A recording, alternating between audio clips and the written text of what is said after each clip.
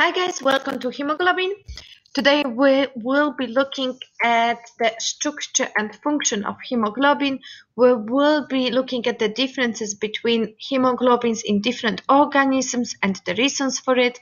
And we will uh, be able to explain what is meant by loading and unloading of oxygen. So, in terms of the spec, um, we need to know the structure of the hemoglobin and we need to be able to uh, to describe the process of loading and unloading. So, what is the hemoglobin? Hemoglobin is of course a protein, it's a quaternary protein. It's made of two alpha polypeptides and two beta polypeptide chains. So really common past paper questions asking you what is the evidence that hemoglobin has a quaternary structure, tertiary, secondary or primary structure. So primary structure is a sequence of uh, amino acids in the four polypeptide chains Secondary structure is the fact that each of those uh, polypeptide chains is coiled into a helix. Tertiary structure, each polypeptide chain is folded into a, a specific shape and this is the important factor uh, in, uh, in its ability to carry oxygen and finally, quaternary structure, it's the fact that all four polypeptide chains are linked together and they've got the prosthetic group, the heme group, which contains uh, uh, iron ions.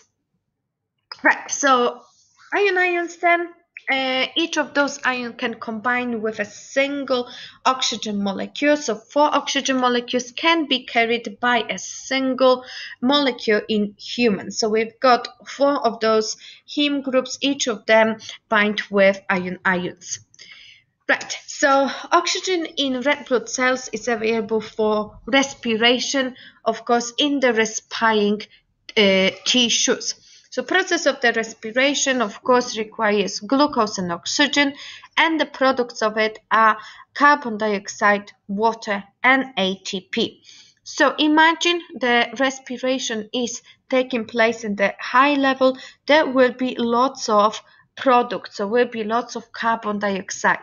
This product of respiration that increase carbon dioxide will lower the pH. Okay, so um, so if there is a low there is low pH, that means there is a high concentration of carbon dioxide. That means then the oxygen has to be associated uh, from hemoglobin. So the diffusion of oxygen will take place into those respiring tissues. So we call those processes loading and then unloading. So what is a loading? Loading is the process by which hemoglobin binds with oxygen and it takes place in the lungs where there is a high concentration of oxygen.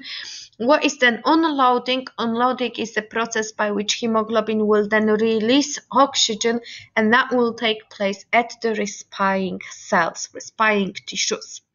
So, uh, this process of loading and unloading wouldn't be able to happen uh, without affinity, which is the chemical attraction of hemoglobin for oxygen.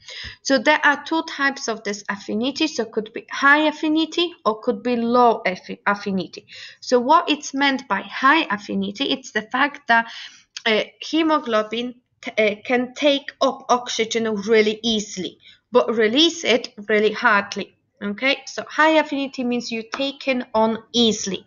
Then the low affinity, it's all the way around. So it's hard to bind with oxygen, but it's really easy to release this oxygen. So if you're thinking about this now, what would be what would be the high affinity in the lungs or in the respiring tissues? Of course, in the lungs there is a high concentration of oxygen, so will be easily to take it on. Well would be then the low affinity? Well, they need to release oxygen really easily, so there must be somewhere where there is a high concentration of carbon dioxide, so of course the respiring cells.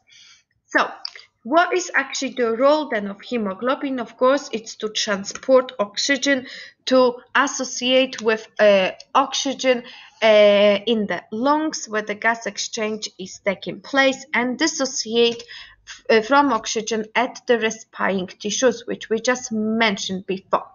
So um, in terms of the in terms of the different types of the uh, hemoglobin and different conditions where the uh, where the uh, hemoglobin the people can actually live this uh, this could be achieved by the specific shape okay in the change of uh, in the change in the presence of carbon dioxide so the hemoglobin can change its shape because it's a protein, it's a globular protein, and that will result in the adaptations of having either the uh, higher affinity or lower affinity. So just to summarize everything, in terms of the affinity and different conditions.